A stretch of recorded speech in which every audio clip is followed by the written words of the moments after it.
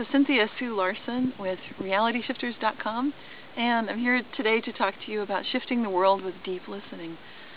And this is a subject that really relates to you no matter what's going on in your life.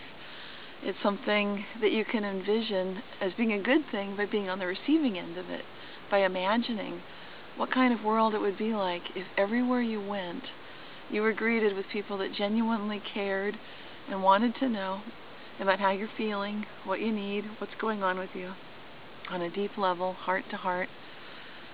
And if you can imagine that in your family, where you work, with your friends, in your neighborhood, everywhere, then you're getting a glimpse of what the world can be like when one person at a time we set the intention to shift the world with deep listening.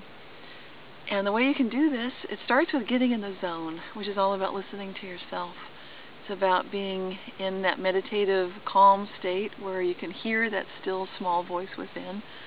Researchers have tracked the number of words that the average American has running in their head all the time, and that self talk can be clocked at a rate of 300 to 1,000 words per, um, I think it's per minute, which is just a shocking statistic if true. I haven't seen collaborating studies, but just the fact that there is that kind of self-talk going on. Yeah, that's right, 300 to 1,000 words a minute. And so if you're thinking about that for a minute, um, like how on earth is that possible? Well, sometimes our minds race. We can do that when we're agitated and worried. Usually we can dig ourselves into a deeper hole by getting into that state of agitation. It really does help to slow everything down to a stop, get really still, really quiet, and listen. Just listen to yourself. So that's the first step in getting there.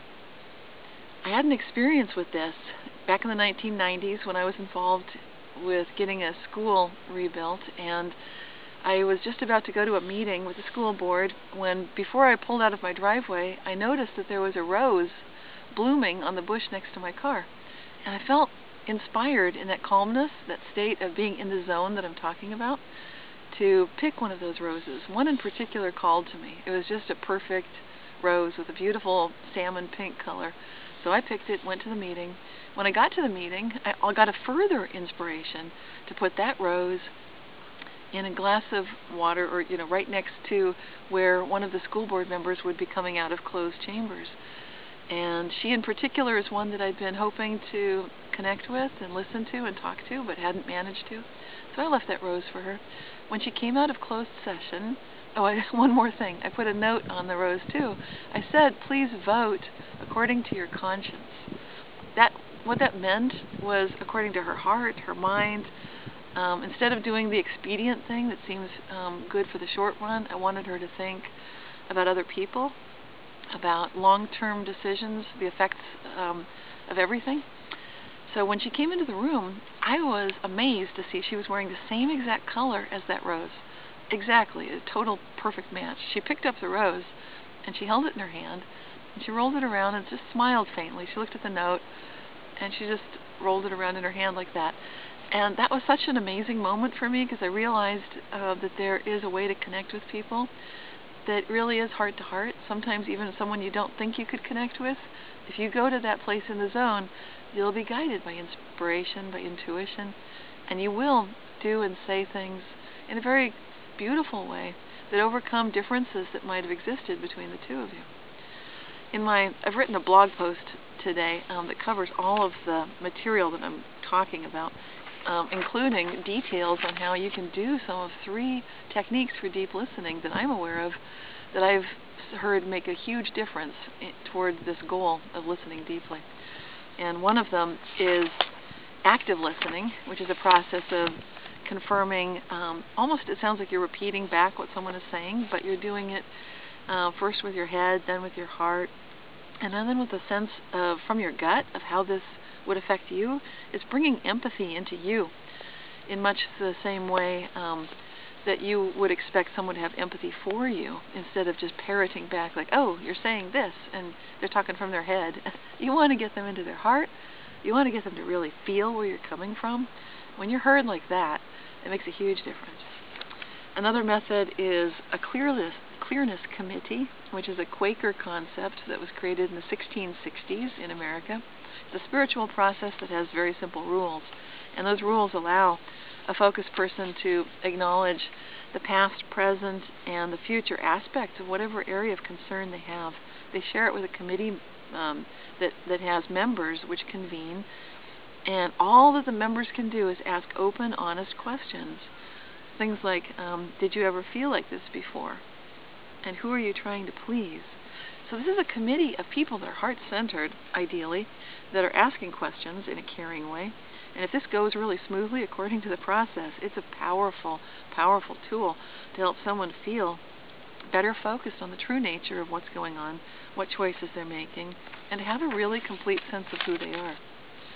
And then the third method I've talked and blogged and videoed about before, and that's Bohmian dialogue. And David Bohm is a physicist who came up with an amazing idea of an uh, implicate order in the universe, that everything can be considered to be enfolded, and sometimes it comes out again. So it's, you could imagine it like a can of paint, and you drip a different color into that can of paint. So you start with white paint, drip a few drops of red, and stir it. And if you stir very slowly, you're going to see that through time, you're mixing the two colors up. You reverse that, watch a movie in reverse, you'll see it goes back to the original order. So it's a basic fast level idea of this implicate order concept. But from that, David Bohm was a proponent of dialogue, and his idea was to get people talking from the heart and to really take time to listen deeply and fully to each person who's speaking.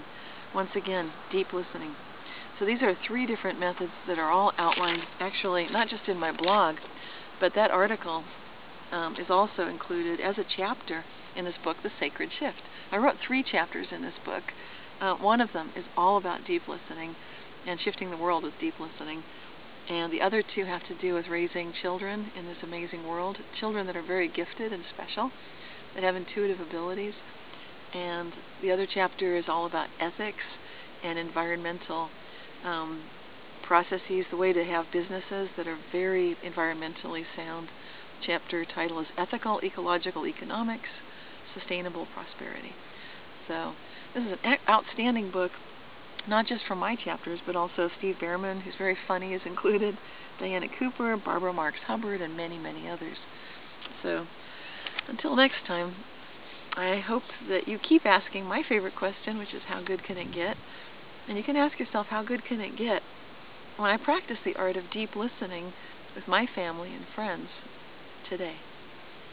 Until next time, I'm Cynthia Sue Larson with RealityShifters.com.